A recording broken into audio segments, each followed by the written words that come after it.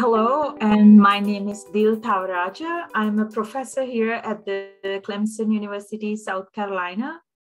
And my program is called uh, Pulse Quality and Nutritional Breeding Program. And I oversee the uh, nutritional breeding program for organic crops, especially for dry peas.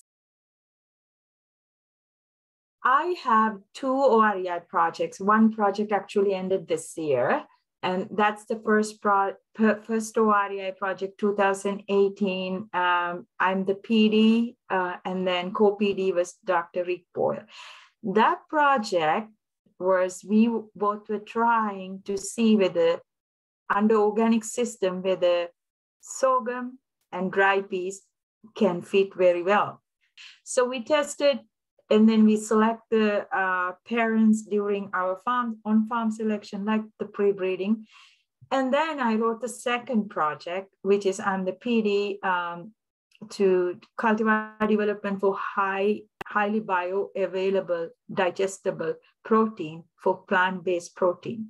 So the second project was funded two years ago which is we are in the second year. So what here we are looking at we are developing this breeding pipeline to develop cultivars, dry pea cultivars, adapted to the uh, organic farm setting with high protein content, high protein quality, and protein digestibility. I am very appreciative about my growers because I do not think that I can be successful in this breeding program to developing these cultivars without having my main organic grower. So I have a very good relationship with them. So I'm hoping that one of my varieties that I can release to recognize their um, um, owner of the farm, Walter P. Rawls, was the um, who established the farm. So I would expect someday that I could release a variety on behalf of um, recognizing them for the what they have done for our breeding program.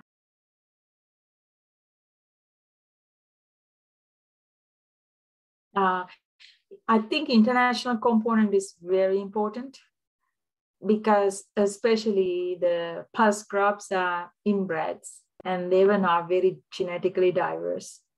And US has, I don't know how many people US has the organic pulse breeding programs, but major universities in the Midwest and Washington State has the big breeding program, but they are all conventional. So the we need to exchange material because those material they develop for conventional it's not going to fit for the organic. So organic is a whole different ball game